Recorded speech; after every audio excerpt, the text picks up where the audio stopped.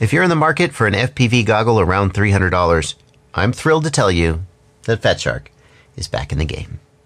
I'm Joshua Bardwell, and you're going to learn something today.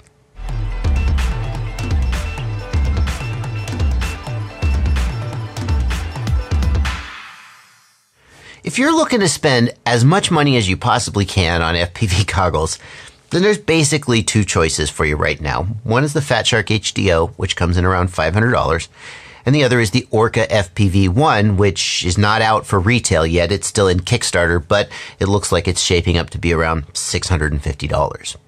But if, like most people, you're on a budget, you actually are kind of spoiled for choice. Because in the 300 to $350 price range, there's a lot of goggles. Eachine EV200D, Skyzone, the new Skyzone SKY02S, uh, Aomway Commander has a new one out. 300 to 350 ish dollars really seems to be a sweet spot for goggle performance versus value. And that makes life pretty hard for you. Where is the Fat Shark goggle that comes in around 300 to $350? It used to be the Dominator V3, and Fat Shark stopped making it. And that has been a really notable absence until today. This is the Fat Shark Attitude V5, and it puts Fat Shark right back into the budget goggle game. Now we're going to go over the specs of this goggle, and we're going to compare it to goggles like the Eachine EV200D, the Skyzone SKY02S, the Aomway Commander V1S, and those goggles are going to beat this one on some specs, and, and it's going to beat them on other specs. But before we do that, I want to make a, an argument to you as to why this might be the goggle you should buy, even if it doesn't win on a particular spec that you care about. Here's what I want you to do I want you to pretend that you bought this goggle, and then three months later, it, it broke. And I want you to reach out to support. Contact Fat Shark Support. Pretend to be a, like, don't lie, but pretend to be a customer. Say, hey, I have a question about my goggles. Can you help me? Contact Skyzone Support. Contact Aomway Support Contact Eachine support. I'm laughing, but I'm not joking. I'm serious. If you're shopping for goggles, do this as an exercise and see how that shapes your buying experience. Because here's the thing you're going to buy these goggles, they're probably going to work. And if they're DOA, whoever you bought them from will probably take them back and send you another set. But a month, two months, three months, six months, a year from now, if they break, then what? And if you buy from anybody but Fat Shark, you are probably out of luck. So you got to ask yourself when you spend $300 on a set of goggles, is that a one time purchase? And if they break six months from now, you just buy a new one? If so, buy whatever you like. But if six months, a year, two years, five years from now, you're going to need a new DVR board, a replacement optics module because you accidentally let the sun shine in them, or just whatever else goes wrong, only Fat Shark is going to have your back. And for many of you, I think that's going to make going to mean this is the goggle that you should buy regardless of the specs. Okay, impassioned plea over. Let's get on to the specs. The Attitude V5 has OLED micro displays. This gives richer colors and better contrast compared to the LCD displays used in other goggles. The $500 Fatshark HDO was the first FPV goggle to have OLED displays. It's really exciting to see Fatshark bringing this technology to such a budget priced goggle. One concern that people have about OLED displays is that they can be prone to burn in. And people ask, since I've got my OSD on my goggles in the same position all the time, are my goggles going to burn in? The HDO has been out for over a year now, and we haven't heard any reports of burn in. And I think there's two reasons for this.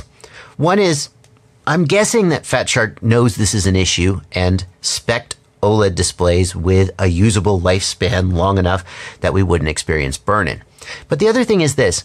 Compare the usage of like an OLED computer monitor or cell phone screen to something like your Fat Shark goggles.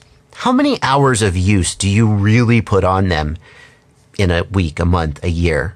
Even if you're flying all day, you probably only put a couple hours of use of actual on time on the goggles. I mean, you got to charge packs. How many packs do you even have? So even if you fly a lot, like two or three or four times a week, you're maybe only putting six or eight hours of use on the OLEDs, and that just isn't that much compared to the usable lifespan of these goggles. Now, the resolution of the screens is 600 by 400, which is going to turn some people off. They're going to say that's not enough resolution. I've always said that VGA resolution is the minimum that I personally want to see on an FPV goggle because here's the thing what's the resolution of your actual camera feed? Oh, my camera's 1200 lines. Yeah, but no, no, no, no, no. It's an NTSC or PAL standard definition feed. And it turns out that there's about 640, maybe a little more, not much more.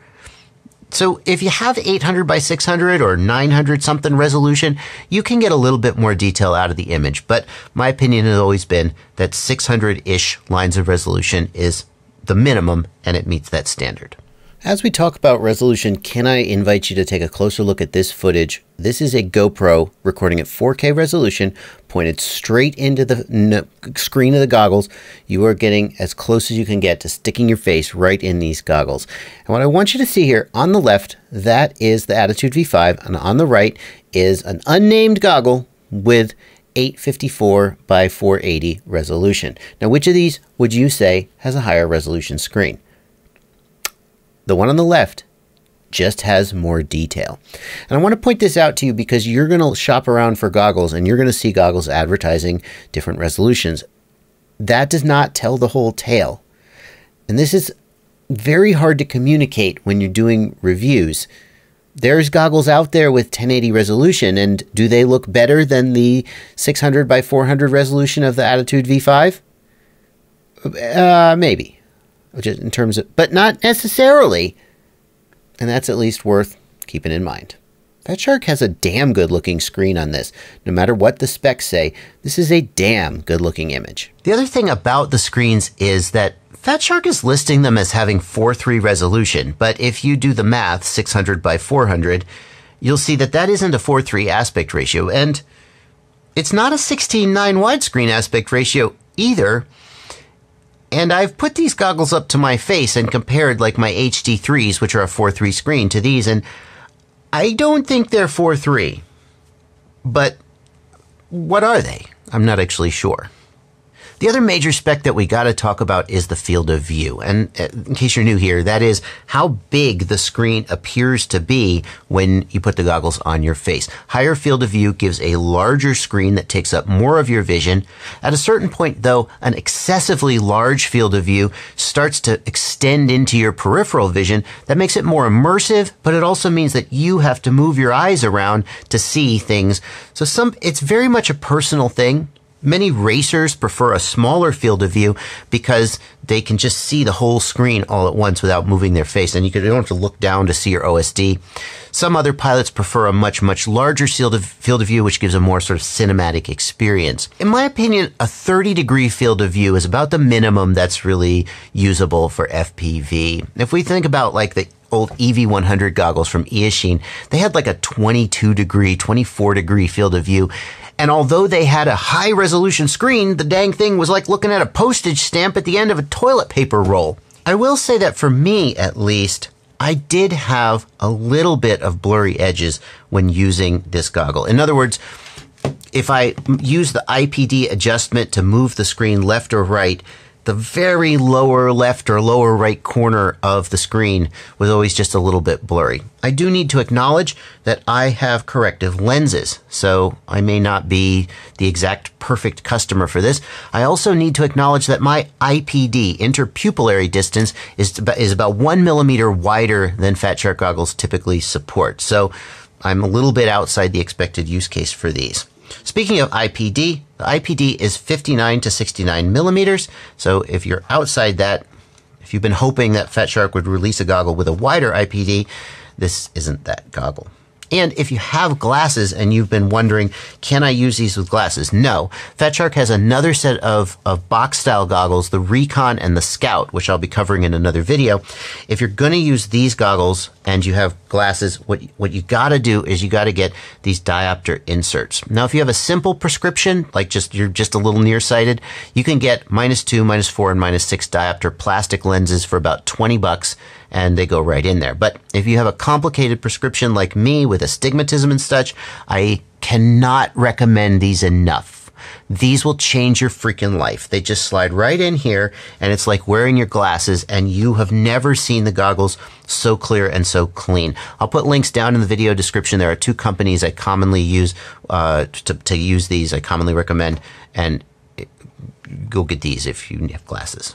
Another thing I love about the Attitude V5 is that they've started including this 18650 battery case. In other words, this is not a LiPo pack that will be crappy for a while and then wear out and then be dead, but it is a, plastic shell that you put 18650 lithium ion cells in. The downside is you will need to buy a couple of these. The upside is that these guys can be had really cheap. You get a charger for these and you just drop them in the charger. They charge. If you're in the middle of a day of flying and your pack gets low, you just really easily just swap them out for a fully charged set. This is what I've been, I switched to these and it's just so much easier than dealing with lipos. I love it. It's also got a button you can push to see the charge status. is fantastic. So it's great that they've included this. As you can tell from the fact that there are two antennas on here, this is a diversity goggle, and this is actually the first Attitude goggle to support diversity. Very exciting. It does come with a patch and an Omni antenna. Be nice if they included a right angle adapter here instead of making you bend this thing, but it's not the end of the world. The receiver is Fat Shark's OLED receiver, which was first announced with the Attitude V4, and it gets the job done. Um, I am not sure I've actually ever range tested this. Maybe I will, but gets the job done. It probably doesn't, you know, break any records. It does support all the common bands. So it supports race band, A, E, L, L band, AV in, that's for external input of some kind through the AV port, and F band, Fat Shark band, of course. And since I know some of you are wondering this, yes, you can use rapid fire with this. If you prefer to buy these goggles and put rapid fire in it, that is an option.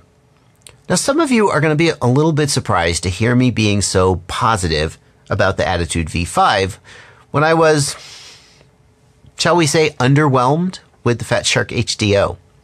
And the HDO is a much better goggle than the Attitude V5, but it's a $500 goggle and this is a $300 goggle. And therein lies the rub. When the HDO came out, I expected more from a top of the line goggle, and I didn't get it. It's good, but like for $500, could I have had a power button? I guess not.